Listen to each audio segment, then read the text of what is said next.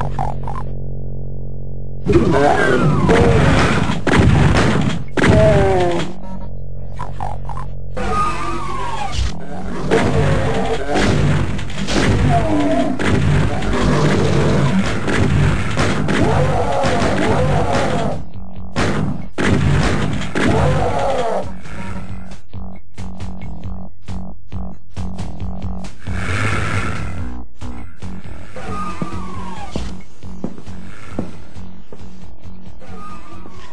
These games are getting really realistic.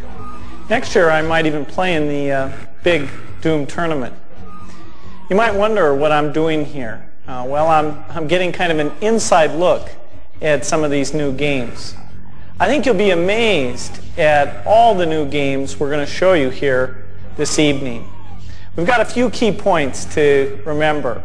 First, Windows 95 is the game platform whether it's the best performance, the best setup, the best integration.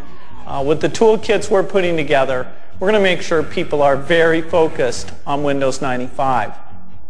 DOS, it's been impossible to install the games. Hard for the developers, hard for the users, tough support problems, and nowhere near the graphics performance we're getting today with our DirectX APIs.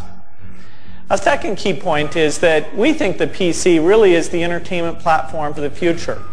Uh, we're going to have the best performance, the way to reach out uh, and do multiplayer games, lots of new peripherals, and the improvements just keep coming.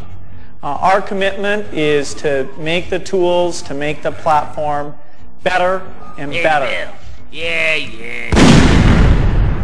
Don't interrupt me. And a third point is I really want to thank all the third parties who've made this possible. The reaction of the game community has been fantastic. I will be showing you here 75 new games, all of which will be coming out by the end of the year.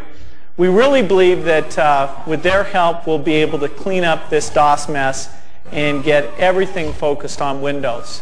And it's our commitment to keep moving ahead uh, and doing that.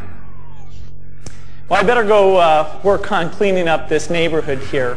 Uh, so I'm off. Uh, but don't forget, uh, when you're trying out our haunted house, uh, don't, don't lose your head. See you.